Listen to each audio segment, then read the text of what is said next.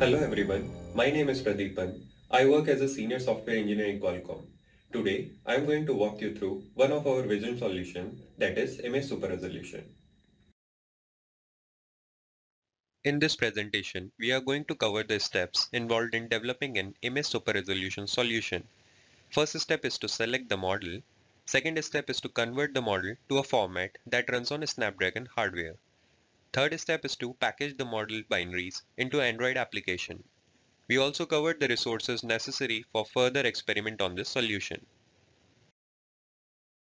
First step to develop any solution is to select the best suitable model. AIMET Model Zoo provides a collection of popular neural network models.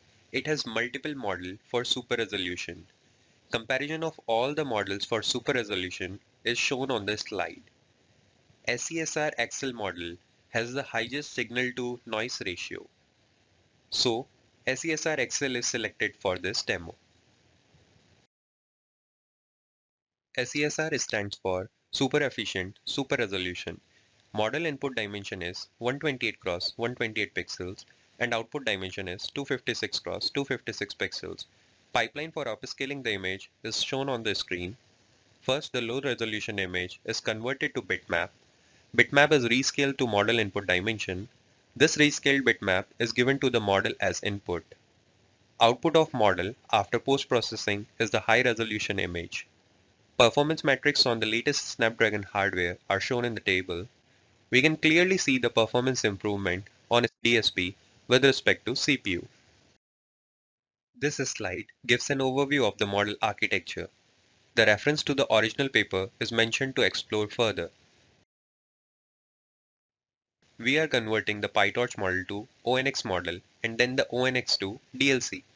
It is highly recommended to convert PyTorch model to ONNX before converting to DLC for better support. First we need to get the model weights for SESR XL2X, then clone the AIMET model zoo repo and make sure the repo head is pointing to the one mentioned here. In the inference file mentioned, change the code as instructed.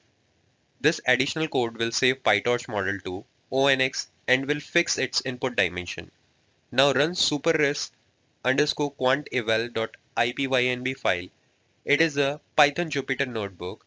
Now we have the ONNX model ready with us.